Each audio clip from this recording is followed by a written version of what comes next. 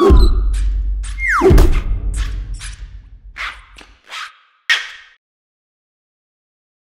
everyone, it's Michael here with GoodeReader.com. Have you ever wanted to read an e-reader underwater while you're scuba diving? Well, this is a reality as Pocketbook is putting out the first waterproof e-reader called the Pocketbook Aqua. Now, this is certified to spend at least 30 minutes under one meter of water. So if you're tired of having your magazines or books soggy while chilling in a bathtub, well, you can get the Pocketbook Aqua and it's all good.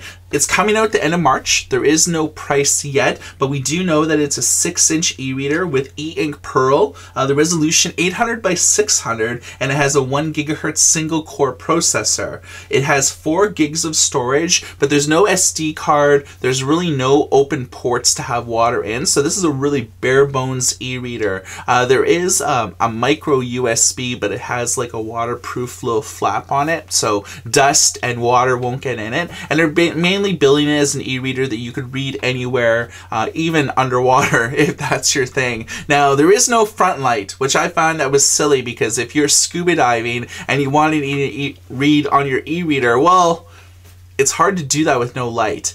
Um, same with like a, when you're in a bathtub or something like that. Often you're chilling with candlelight or the lights are pretty dim and it'll be hard to read unless you invest in uh, a lit accessory, you know, like a clip-on light or something like that. So the Pocketbook Aqua, who knows how this will sell. We'll be reviewing it soon here on uh, our Good e-Reader YouTube channel at youtube.com slash goodereader. What do you guys think? Would this be a good vacation e-reader if the price was right? Um, do you think it would be a viable investment? Drop a comment in the, the comment section below. For goodereader.com, my name is Michael. Thank you guys for watching this video. If you want to learn more about these stories individually from all of these news blasts, you can go to our news publication at goodereader.com slash blog.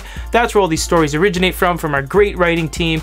Or if you're watching this video on a different website, you can go to youtube.com slash goodereader where we have over 850 videos for your viewing entertainment and information. So please keep watching and thanks everyone. Keep it up.